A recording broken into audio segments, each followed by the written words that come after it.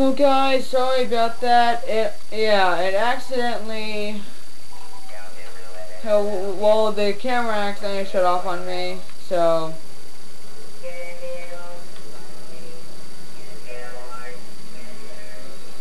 there we go. Oh it's cool, so we shoot that dead fish float. See? Dead fishies and they will actually, yeah, I mean, if you shoot the water with a pale gun, will do that. Let's shoot them. Yeah, let's go.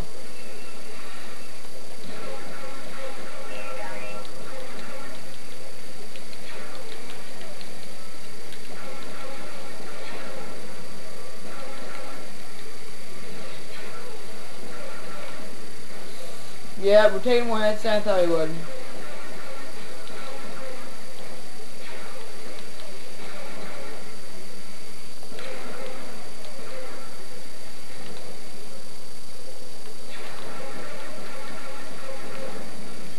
Tank is a beast though.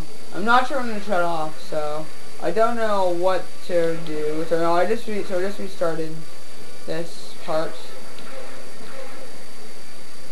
I just been going on about how good the tank was and blah blah blah, so I just have been trying to do this for you guys.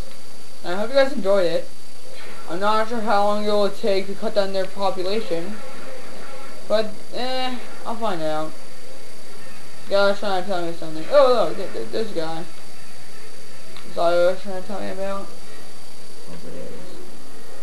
It is. No way, this me off the switch. It's just back and forth.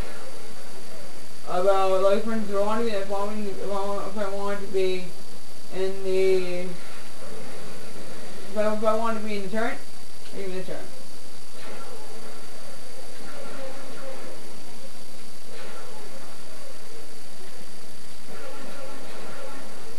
Oh! This the tank is a beast though. Hello. Oh god, did I scare you? Sorry. We, we are capturing this space.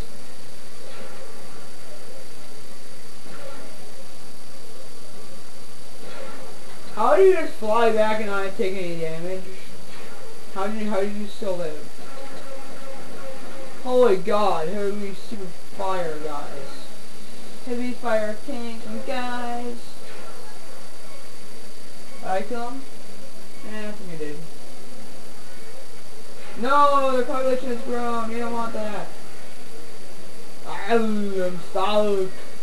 I, I don't. Oh, I'm gonna have to restart this. I was in a stupid way. Yeah. Sorry about that.